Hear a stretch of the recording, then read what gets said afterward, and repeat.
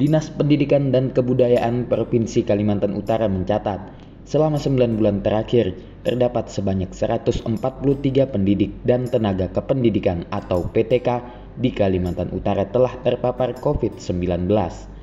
Jumlah itu tentunya bisa saja bertambah seiring belum berakhirnya masa pandemi COVID-19. Akhirnya, upaya vaksinasi guna pencegahan penularan COVID-19 ke PTK pun terus digalakan sampai saat ini.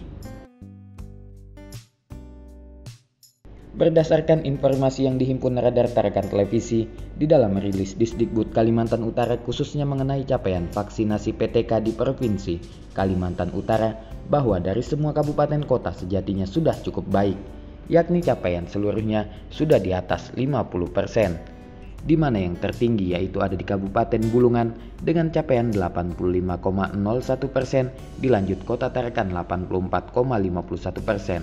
Lalu untuk Kabupaten Tanah Tidung 79,46 persen, Kabupaten Malinau 76,30 persen. Sedangkan Kabupaten Nunukan menjadi capaian terendah yaitu 55,02 persen.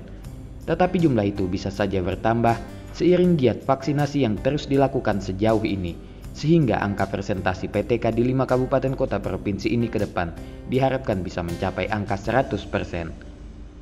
Hal ini pun dibenarkan oleh PLT Kepala Disdikbud Kalimantan Utara Teguh Henry Susanto melalui Kepala Bidang SMK Disdikbud Kaltara yaitu Ahmad.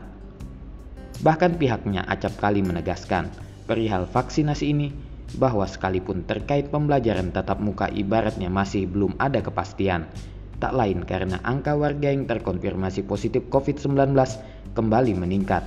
Namun vaksinasi terhadap PTK tetap wajib untuk dilakukan.